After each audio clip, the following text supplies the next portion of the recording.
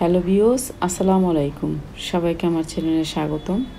তো কিছুদিন আগে গ্রামে একটা বিয়ে খেয়েছিলাম, তো সেই বিয়েটার অনুষ্ঠানের ভিডিও একটু ছিল আমার কাছে, তাই ভাবলাম বসে বসে বোর হয়ে যাচ্ছি শুইতে শুতে বিছনায়, আর ভালো লাগে না। তো এই ভিডিওটা আপনাদের সাথে শেয়ার করতেছি, যে আপনাদের সাথে একটু কথা বলা আর কি, এই আর কি।